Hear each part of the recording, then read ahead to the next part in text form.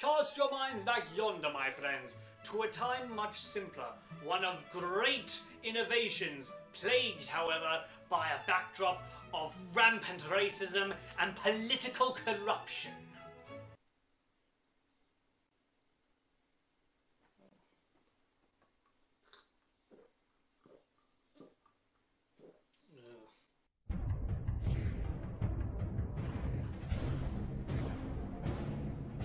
Once upon a time, some old people wrote some old books, and then 100 years later, Grigory Rasputin, working under the pen name Alan Moore, put them all into a superhero comic. Then, not quite that long later, someone turned that comic into a film. Barely, I mean. Maybe if you squint a little, it's the same thing. Moore's vision for the League of Extraordinary Gentlemen was a disturbing deconstruction of both its classical source material and comic book tropes. Often he would highlight flaws and elements of each character that the viewing public would probably prefer to ignore, and why putting them all in the same room together is going to end badly. The movie is a dumb action flick with public domain characters. And just take a guess which it is I like more. Hey. Listen, some days you just need to sit down and watch Sean Connery impale someone on a mounted rhino horn. Is that so wrong? But I digress. If we're going to assemble a league, extraordinary or otherwise, we're going to need something for them to assemble against. Let's see, what do you got? Tank. That takes some serious guts. Give that man a posthumous medal. Enter the Phantom. Spelled with an F because this is before phonics were invented. And don't let the skull mask fool you, this was just the fashion at the time. What does he want? I want the world. Well, too bad, I saw it first. Through the use of advanced stolen weaponry and a frankly reckless disregard for proper Zeppelin safety regulations, the Phantom manipulates the world to the brink of war more than 10 years early, seeking to kick it off at an upcoming peace conference in Venice, which, if he has his way, will become a multiple peace conference. All of this brings a man named Sanderson Reed to Africa in search of the legendary explorer Alan Quatermain, played by the equally legendary Sean Connery. And I'll regale you with how I found King Solomon's mines. Time has not been kind to you, has it, Sean? Wrong Quatermain. Okay, so did you actually retire? Or did the courts have something to say about this? If you want to talk about a subpar film with perfect casting, look no further. Between contrived writing and some, well, bad dialogue, Connery sells it. And by all accounts, he did not enjoy making this movie, so this is someone who is awesome whether they like it or not. Personal tragedy has left Quatermain a troubled man who wants to put his life of adventure behind him, so if he's going to join the League, it's going to take something big to convince him. Yeah, like that.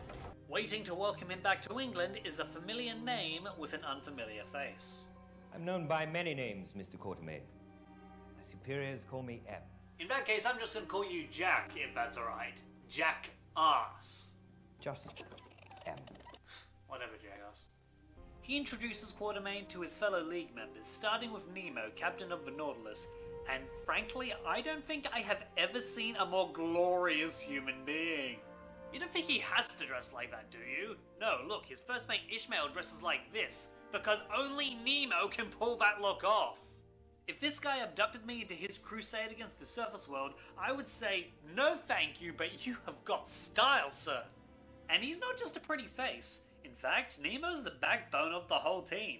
He's got the headquarters, the gadgets, the manpower, and he's no slouch in a fight. Draw your pistol. I walk a different path. You magnificent bastard, I read your book! And we both know that's not true. That aside, this is a great first showing. The rest of the team had better be something special if they want to compare to this. Special Agent Sawyer of the American Secret Service.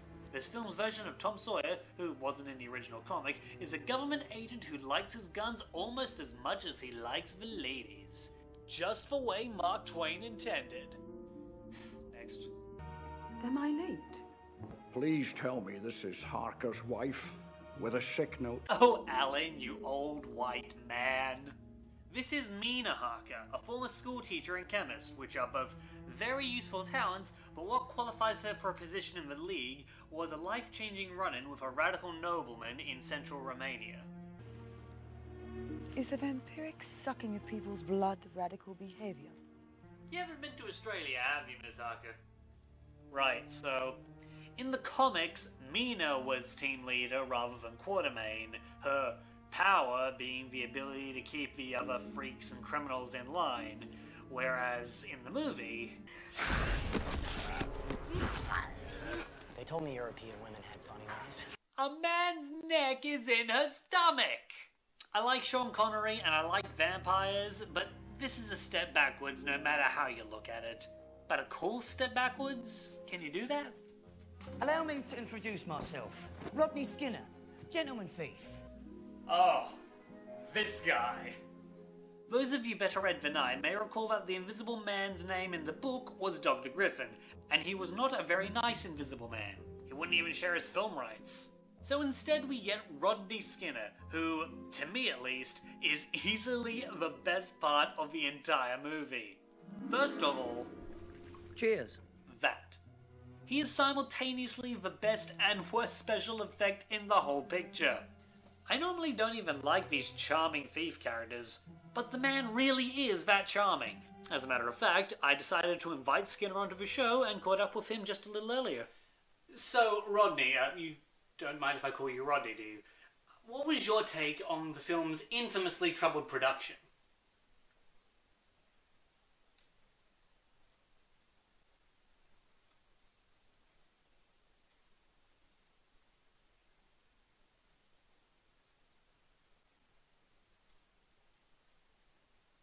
I spent way too much on this suit. Way too much. The group heads off to pick up the sharp dressed and debonair Dorian Gray, who actually has something of a history with Quatermain and Mina. That is to say, he's had sex with one of them. Haha, yeah. In his possession is a magic painting that takes all the unsavory effects of age and injury for him, keeping him alive and well so long as he doesn't look at it. Which is fine, it's probably not that good anyway. And on the topic of not dying, he's quick to bring up a little tidbit about Quatermain, that he was once blessed by a shaman, claiming that Africa would never let him die. But you're not in Africa now. That, mate, is where you're wrong. The final member to recruit is, of course, none other than Henry Jekyll's Bad Mood, here depicted as the prerequisite big guy that every superhero team apparently needs to have. And I think I'm okay with that. The strength of the Incredible Hulk and the fashion sense of Uncle Pennybags. He's even got a little cane! Run! Run, you resplendent creature! Let no man cage you! Live free! No. I didn't think I'd be as upset as I am. Ow! You scratched me. Yes, I did. Right, just so we're clear then. And so, with all our Victorian shaped pieces on our Nautilus shaped board, the League must confront an even greater challenge before they confront the nefarious Phantom. I don't want to play with that toy. No, I want to play with that toy.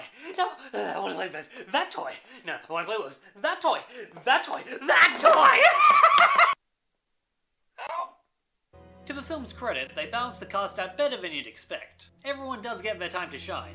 Even Sawyer gets a few really good scenes with Quatermain, and I don't just mean over the top fun stuff, I mean genuinely emotional moments. Still, we suffer through an unfortunate case of what I like to call Wolverine syndrome. Out of a full ensemble, they try to sell us on the least interesting character of the bunch. But it is Sean Connery, so it does even out. If you require any help during the voyage, Mrs. Harker, just let me know. Boy, I shall literally eat you. Basically, if you've got a favorite, latch onto them and watch their scenes frame by frame, because you get what you're given, and what you're given isn't as much as I'd like. Skinner, he's taken a vial of my formula. Really, Jekyll? Just because he's invisible, hasn't been seen in a few days, and happens to work as a professional thief? That is pretty rich. This does come at a bad time, though. If someone's going to betray us, can't they wait until after we've saved Venice?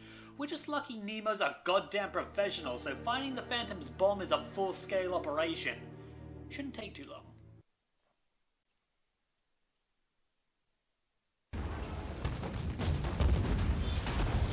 Get in, loser! We're fighting crime! No! Hyde'll never use me again.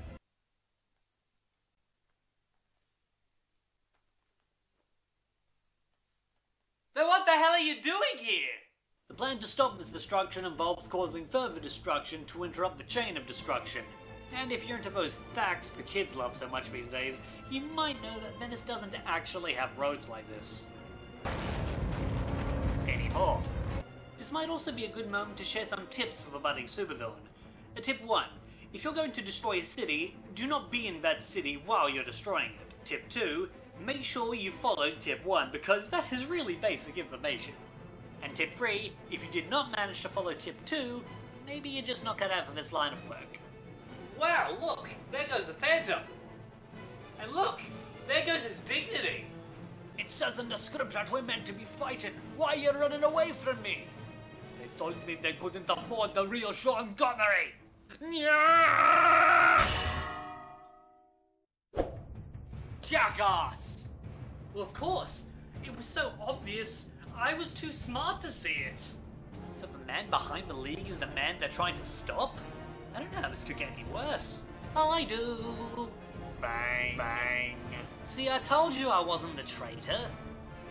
When, when did you get here? I've been here the whole time, mate. I just don't like you.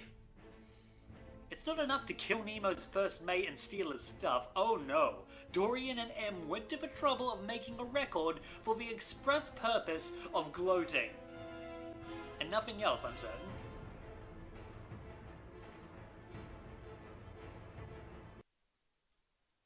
Oh, I guess this time. I know this might look bad, but Nemo actually provides a really good healthcare package, so none of his men actually die. Except Ishmael. As it happens, the League itself was a scam. With Dorian's help, the budding warlord can now buy their own advanced weaponry, invisible spies, immortal soldiers, and hulking monster men. The ultimate soldiers for the ultimate war, courtesy of M. Or would you prefer Professor James Moriarty? In fact, my loyalty to Mr. M comes in no small part from his possession of something I hold very dear to my heart. What a thing to say! Allow me to now exposit to you why he needn't have said that. It was an obvious statement, you see. The audience, meaning you and I, could piece together that information through the clues provided earlier during the narrative, or in some cases, through revelations revealed naturally throughout the story later on. To reiterate, it does appear that this uh, bit goes on for quite some time. Uh, I shall skip ahead if that is alright.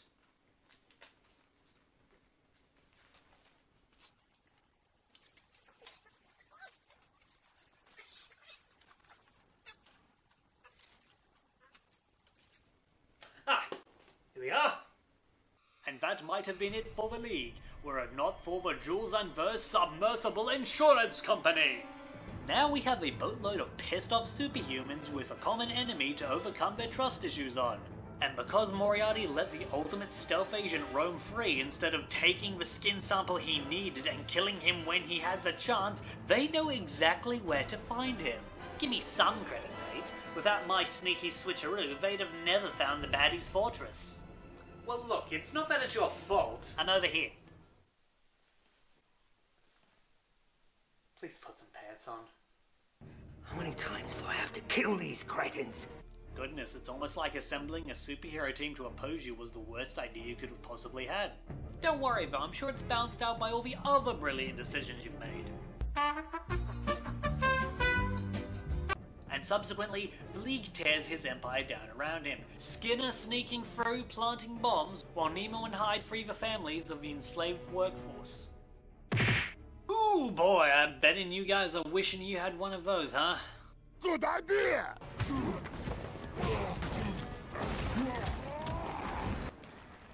Didn't you see the button prompt? Huh? I really gotta start checking this stuff before I start filming. It must feel good to be on the side of justice for a change, huh, Hyde? I want you to know that today, to me, you are a real hero. And of course, Mina has a few choice words for Dorian. A phrase which here means a sharp implement.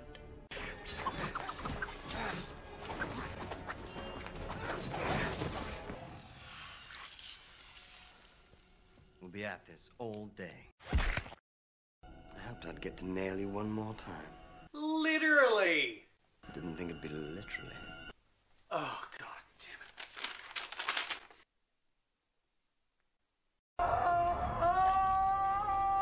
You know, I was wrong. That is a good painting. Even Skinner faces off against a deadly counterpart of his own. You're not funny, you know that. Who are you, my mum? Honestly, this is a great final battle. No one gets sidelined or stuck with an easy job. Everyone contributes. My only real complaint comes from earlier. We know that most of the league were originally bad guys, but we never really see them do anything wrong. Believe you me, I much prefer Skinner over Griffin, but seeing them work together might have had a little more impact if we'd seen them as anything but straight-laced heroes up to this point. I eat people. Well, yeah, but only bad guys. Their families weren't bad. They were delicious. As for Quatermain, I'ma fucking kill ya! We're just rebuild rebuilding. Not if I had a fucking head you won't. There'll be others like me, Quatermain. I'll fucking kill them too. You can't kill the future. Watch me! You ever get tired of being wrong? The League?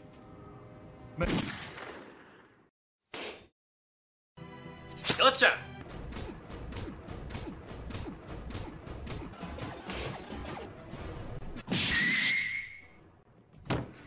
Alright, we'll call it a draw. Well, Sawyer, looks like this is your moment now. I'm sure you can shoot an unarmed fleeing man in the back just fine.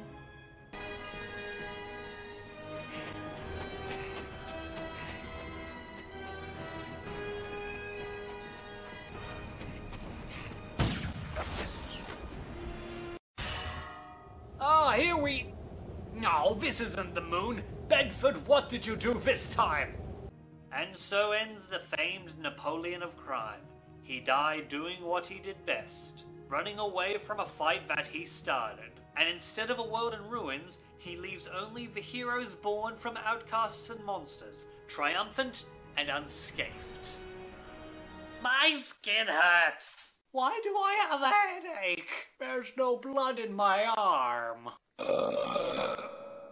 After all is said and done, the formation of the League might have been a lie, but the good they did was very real. So Nemo offers his hand to the others, feeling that there was more they could do for the world. But what other threat could possibly top preventing a world war? Well, how about a war of the worlds?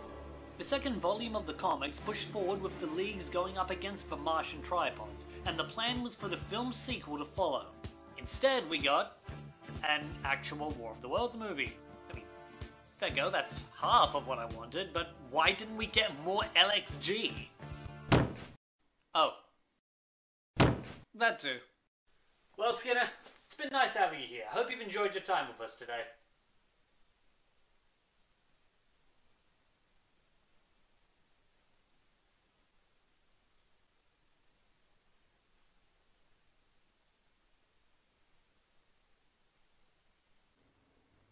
It's just seven more pages of this.